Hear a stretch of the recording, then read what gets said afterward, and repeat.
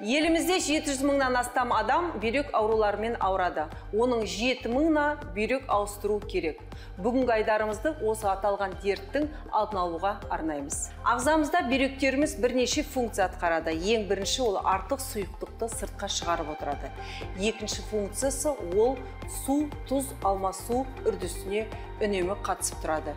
Үшінші функциясы ол қан қысымымызды тепе теңдікте ұстап ішкі ағзамызбен бірге бүйректер де гормондарды бөліп отырады.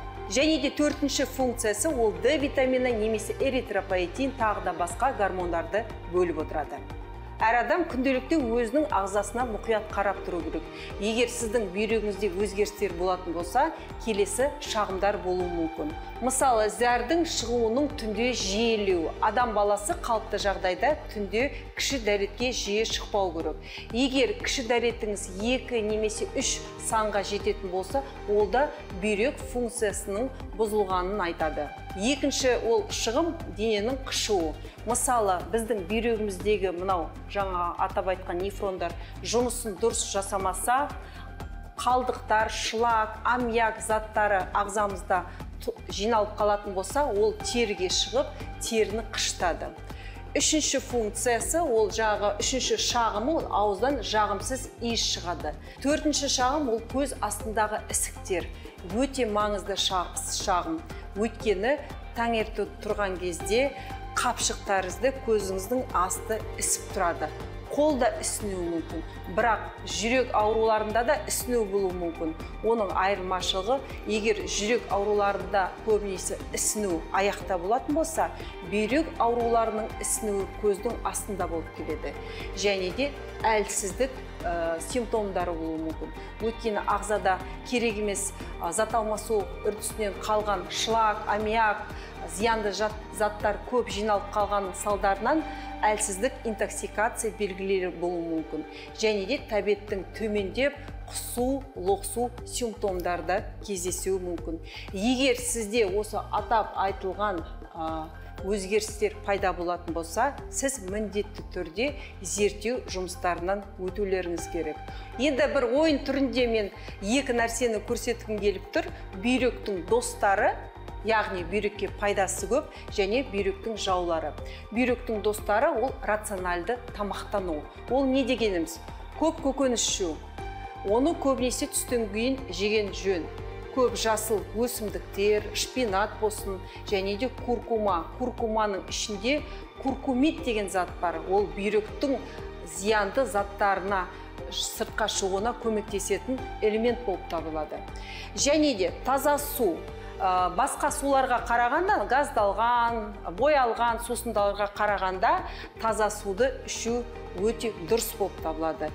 Физикалық белсенді көп жүру керек көп жүрген кезіңізде сіздің бүйрегіңізде жақсы жұмыс істеп тұрады. Және де соңғы ол тұрақты профилактикалық тексерулер. Жалпы жылына екі мартта қанның немесе зәрдің жалпы анализін тексеріп отырыңыз және де биохимикалық анализін атап айтқанда мочевина креатинин жалпы белокты қарап отыру керек және де узи зерттеу жұмыстарынан тексерілуге де болады.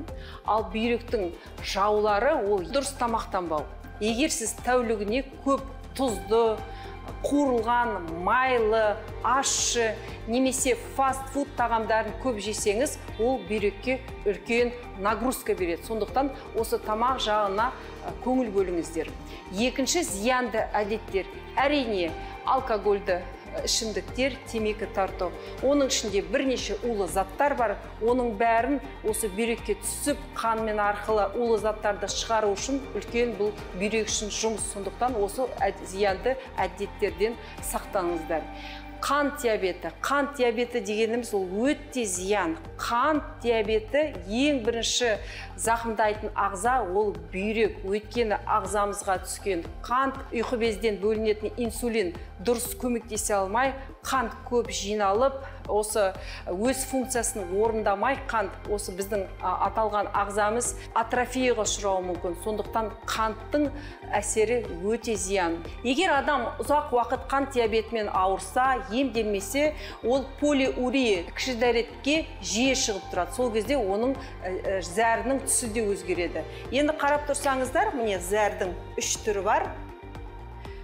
Қант диабеті кезінде зәрдің түсі осындай ақшыл болып келеді. Өйткені бүйректің фильтрациялық функциясы толық жұмыс істемей керекті заттар ағзаға түспей бәрі зәр арқылы шығып тұрады. Қорытылмай бүйрек өз жұмысын толық жасалмай а, сондай жағдайларға ұшыраған кезде бүйректің а, бөлінген зәрі осындай ақ түсті болып келеді. Кейбір жағдайда сіздің зәріңіз қызыл ә, тәрізді болатын болса ол да қалыптан тыс болып табылады. Өйткені осы қызылдау зәрде қан болуы мүмкін. Оған да мұқият қараңыздар. Қалыпты зәр осындай сары түсті болу керек. Осымен біздің айдарымыз өз мәресіне жетті.